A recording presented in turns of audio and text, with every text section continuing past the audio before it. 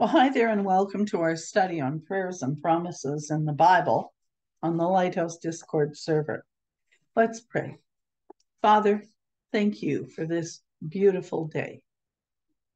No matter what's going on in our lives, no matter how many or how few there may be in the study this moment, no matter whether we're students, whether we're at work, whether we're home, whatever the circumstances are, Lord, you see it all.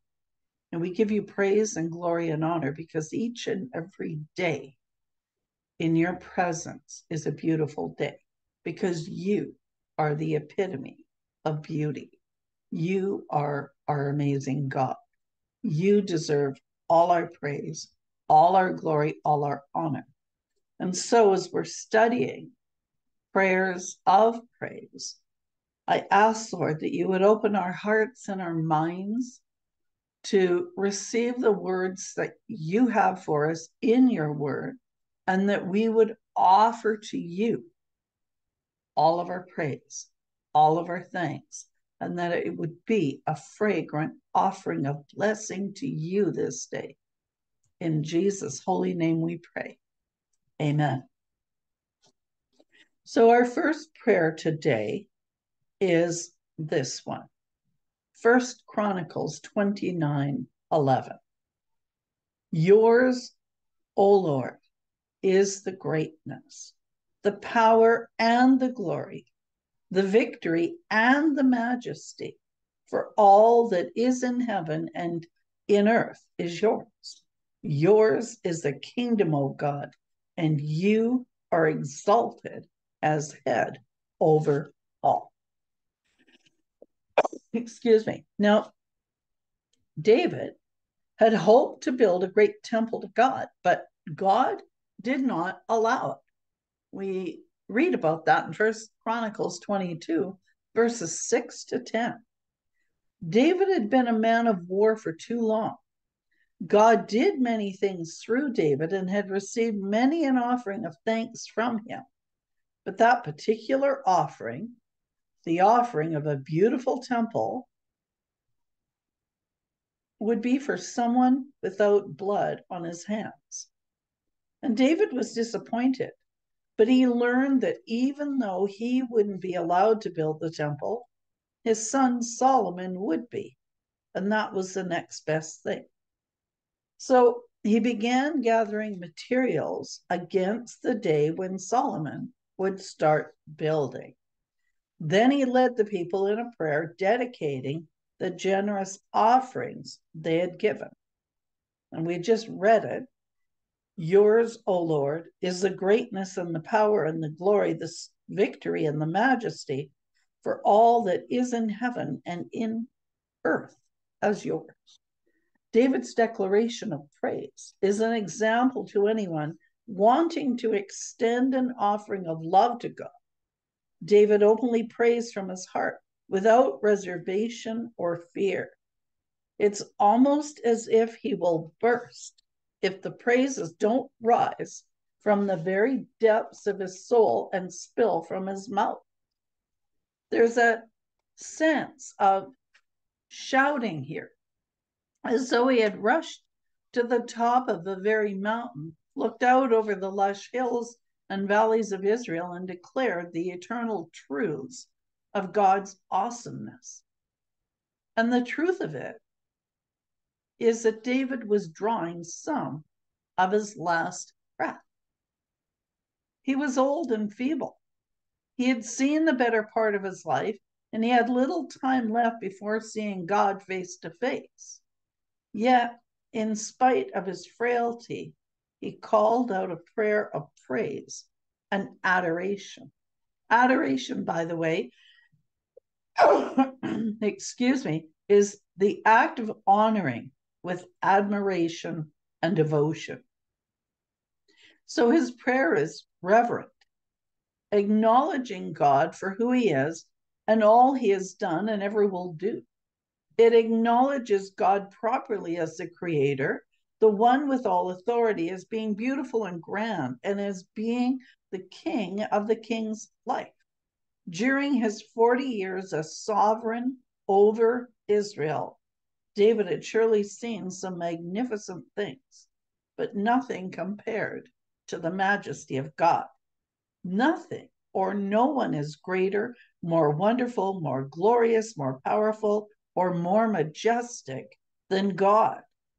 Have you told him just how much you adore him lately? You see, I don't know that we do that as Christians. We should do it, but do we do it? Do we look upon our lives?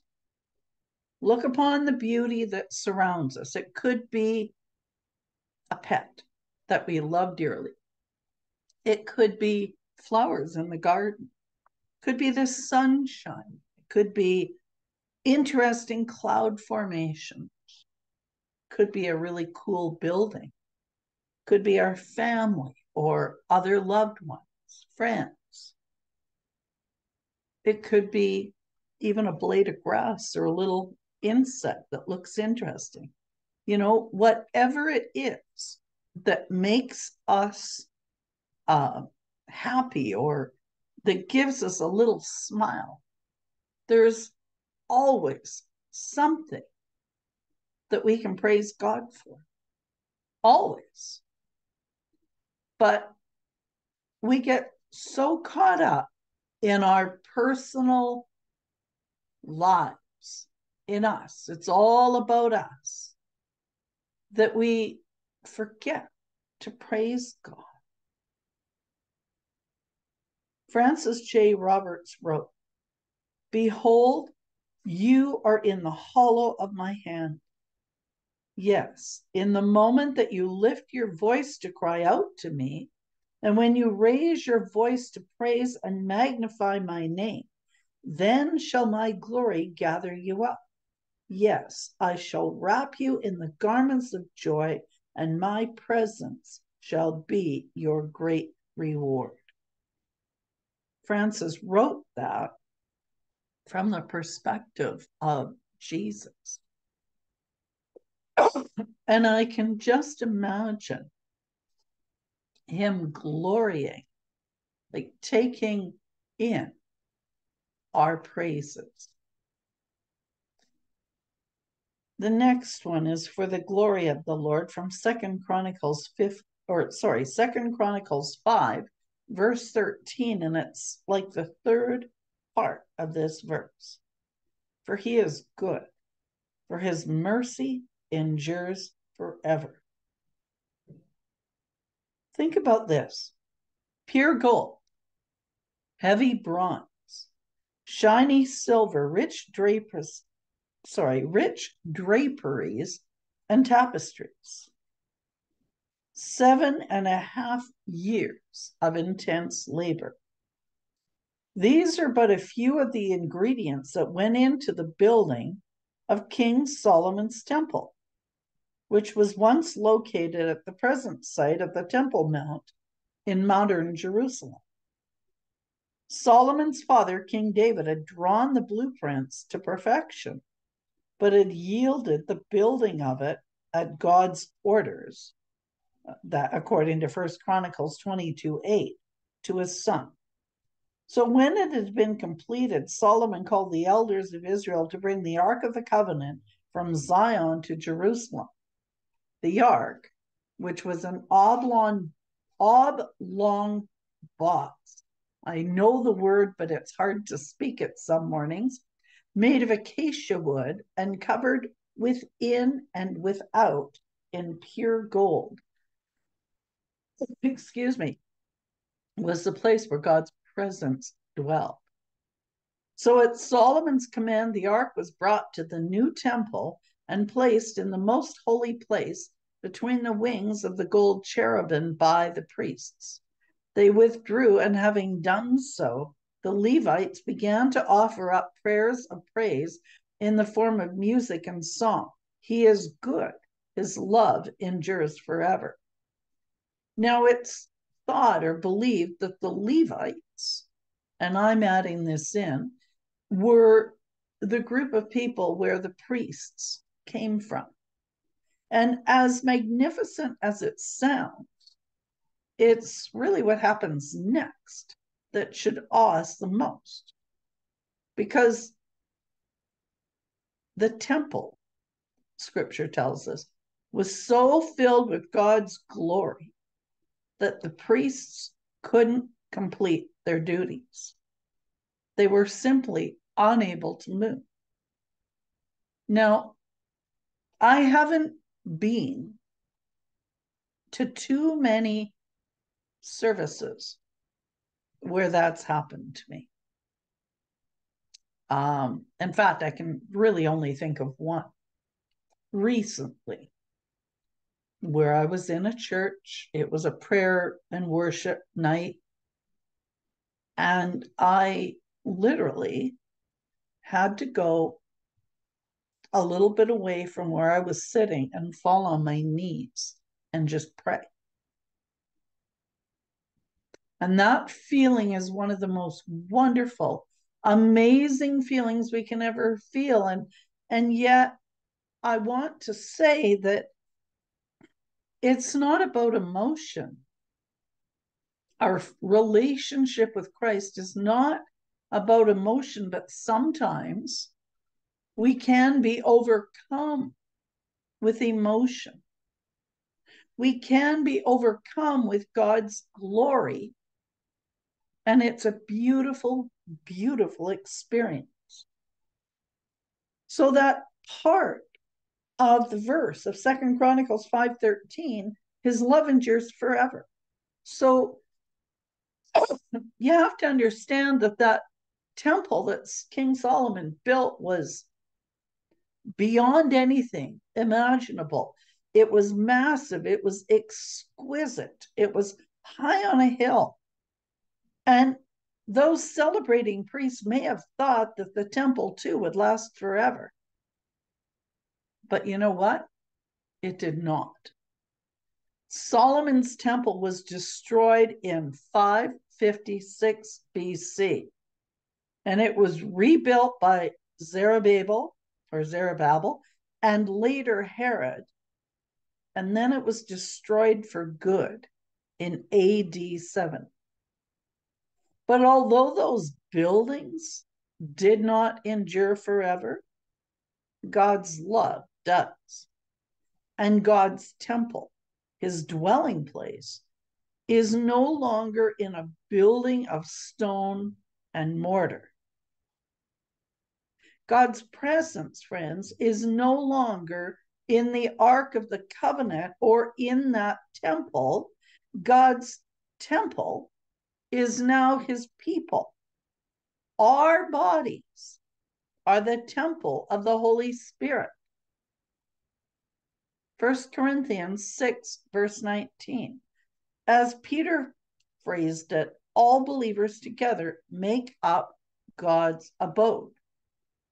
You also, as living stones, are being built up a spiritual house, a holy priesthood to offer up spiritual sacrifices. 1 Peter 2 5.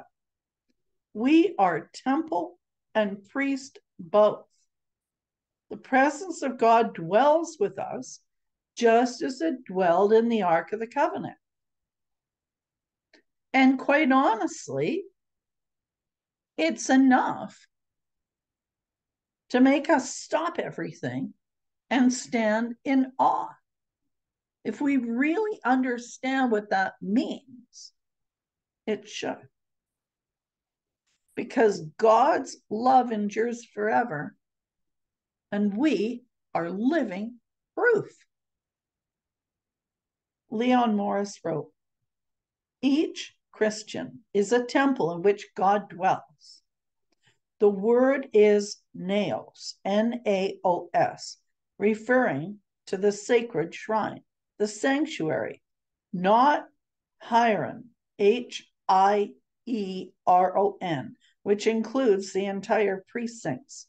This gives a dignity to the whole of life, such as nothing else can do. Wherever we go, we are the bearers of the Holy Ghost or Holy Spirit, the temples in which it pleases God to dwell. This must rule out all such conduct as not appropriate to the temple of God. Nothing that would be amiss in God's temple is seemly in the body of the child of God. Think about that.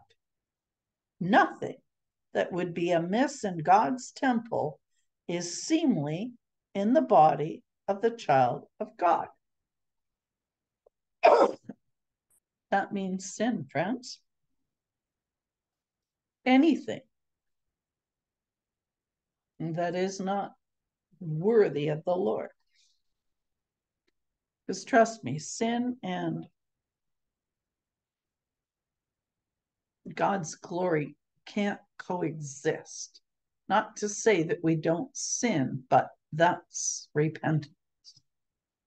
So here's another one Psalm 119, verse 171. My lips shall utter praise, for you teach me your statutes. So this is kind of like one of those praise days. We all have them. It's been one of those days. We open our eyes first thing to discover that the alarm clock had been set for PM rather than AM. I think I've done that once or twice myself. The toast burned rather than turning golden brown.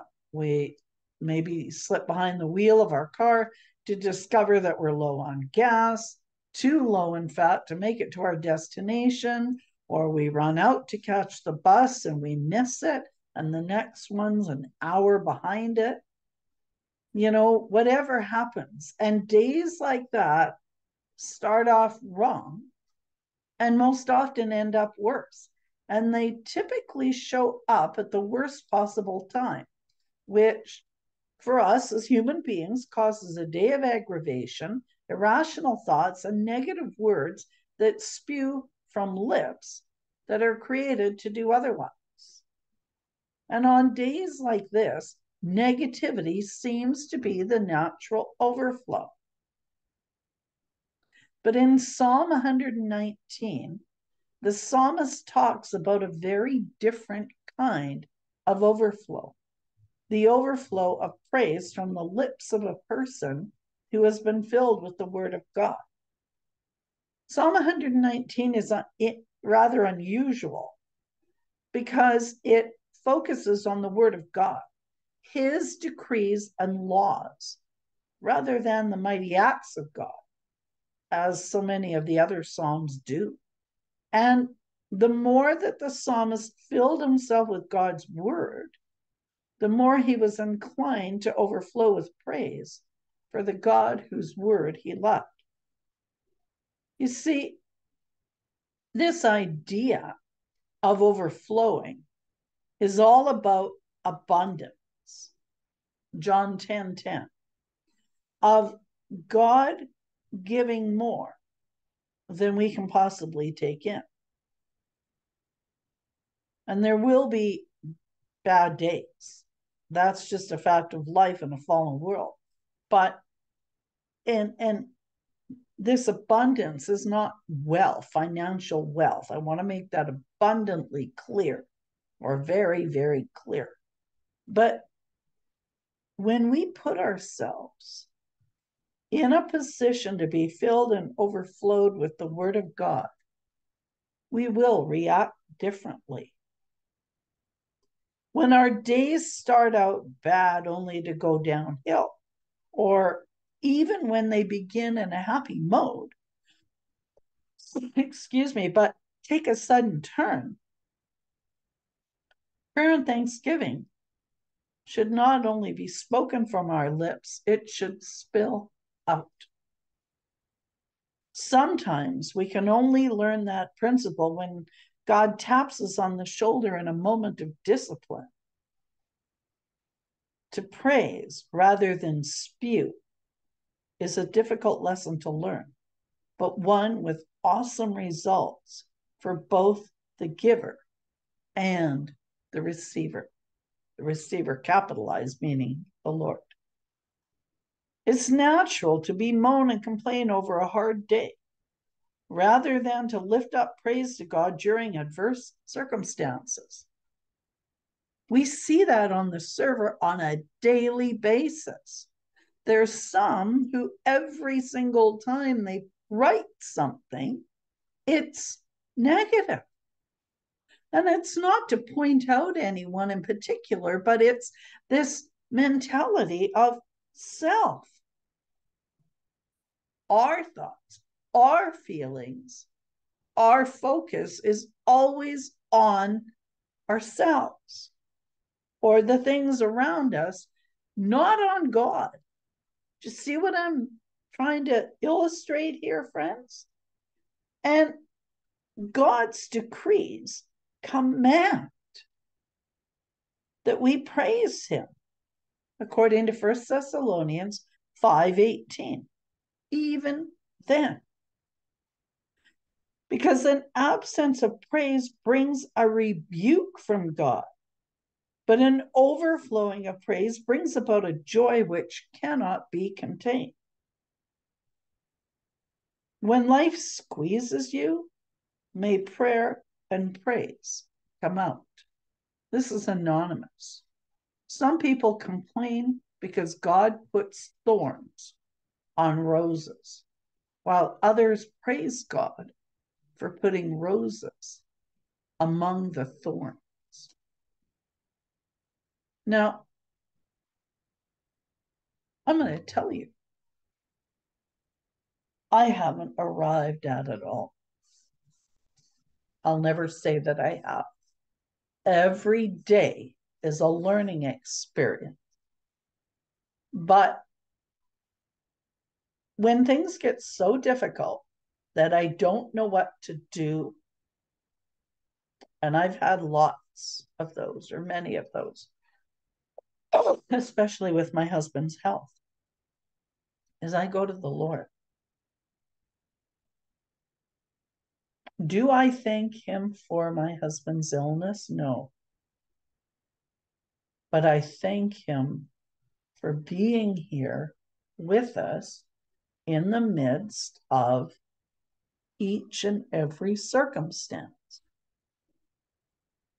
Do I do it all the time? No, I don't. But I'm trying to get there. And the reason for that is when we thank the Lord for every situation in our lives, good or bad, you know, beautiful or ugly, whatever the circumstances are, He changes us. He brings us peace. He brings us comfort. He loves us. And we're not alone. He fills us with His presence. But when we focus on self, you know, my work is bad. My studies are bad. I don't like how I look.